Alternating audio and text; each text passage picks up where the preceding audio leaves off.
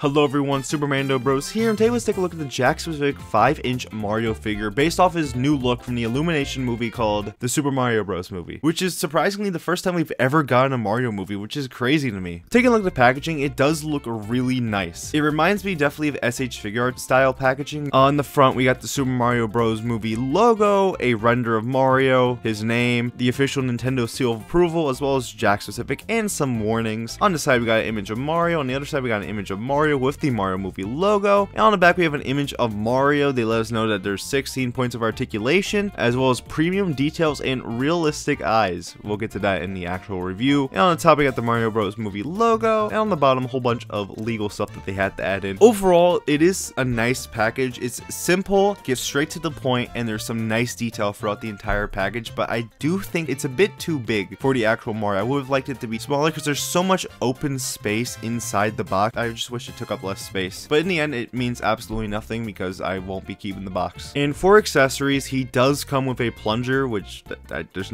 nothing really to add here. It's a plunger. It does look nice, and it's something they didn't need to add, but they did. Now, the only issue is that I wish they gave him alternative hands. Because at the current moment, he has one grabby hand and one open hand. I really wish he came with like two fists. It's not like as if they have no space in the package, because they got plenty of space in there. It's not something needed, but something I really wish they added in. Now, taking a look at Mario, this has to be one of the best Mario figures we've ever gotten. This may be better than the SH Figuarts or anything Jakks Pacific ever made. this figure is amazing. Taking a look at the sculpt, he looks really accurate to what he looks like in the movie, which is just what he looks like in the games, but more realistic. This just looks really good. The amount of detail throughout this entire figure is insane. There's so much little sculpt details like on the hat, in the hair, and the mustache, on his shirt, on his pants, on his shoes. It just looks so good. I am honestly really impressed, but I do have one issue is that there's a molding error on the torso. Now it's probably just exclusive to my figure, but I feel like I have to mention it. It doesn't ruin it for me, but it's just something that sucks. Now taking a look at the paint, there's not a lot here before what there is. It looks amazing. This is like the best paint job I've ever seen for a Jakks Pacific figure. There's all these little tiny paint details throughout the figure that just looks so good. And the best part is definitely the eyes. They're painted so well, but they're a bit weird. So on the packaging, they mention the fact that there are realistic eyes. And what they mean by that is that the eyes are actually in the head a little bit with some transparent plastic in front. So it looks like Mario's eyes are moving with you, which is an interesting idea. I think it's a neat feature, but it kind of ruins taking photos of this guy because he just always is staring at you. And taking a look at the articulation, it is better than what I expected from a Mario figure. The head can move side to side. If you do try, you can get it all the way around, but I'm not going to risk it. There is surprisingly a ball joint at the torso. He can move around side to side. The arms can move all the way around and can go out about that far. There's a single bend at the elbow that can swivel side to side, as well as there's a swivel at the hand. The legs can move forward about that far, back about that far, out about that far, swivel, single bend at the knee, and there's a ball joint at the feet. And for some size comparisons, here he is next to a average size action figure, which is the SH Figuarts Buzz Lightyear, based off his look from Lightyear. I just got this figure recently, so he's just sitting here, which by the way, amazing figure. I highly recommend you get this SH Figuarts Buzz Lightyear. But as you can see, he is definitely shorter than other figures.